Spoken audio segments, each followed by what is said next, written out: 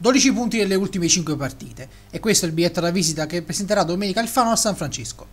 Gli uomini di Cornacchini, reduci dalla vittoria casalinga contro l'Italia San Marco, sono ormai stabilmente in zona playoff, dopo un inizio di torneo poco felice, che li aveva visti anche all'ultimo posto nelle prime giornate, e possono vantare la miglior difesa del girone con i soli 12 gol incassati. Difesa che però domenica dovrà fare a meno della coppia centrale formata da Cacioli e Fenucci, entrambi squalificati. Così come i rossoneri, anche i marchigiani sono stati ripescati in estate in seconda divisione, dopo aver concluso al secondo posto il girone F di Serie D, e si sono affidati a Giovanni Cornacchini, l'anno scorso vincitore del campionato di eccellenza con il Città di Castello.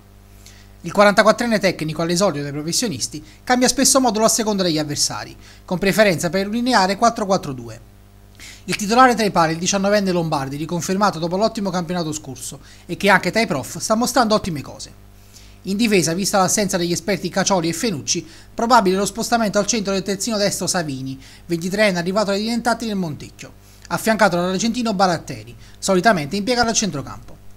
A sinistra rientra l'esperto Amaranti alla quinta stagione in Granata, con il classe 90 Bruno, arrivato in estate dalla primavera del Napoli, a destra a completare il reparto.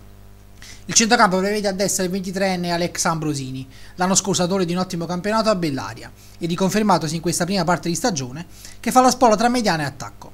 L'ex Gela e Paganese Marinucci Palermo ed il riconfermato Ettore Ionni presidiano la zona centrale, che deve fare a meno da qualche giornata dell'infortunato Marchetti, fino ad un mese fa leader del reparto.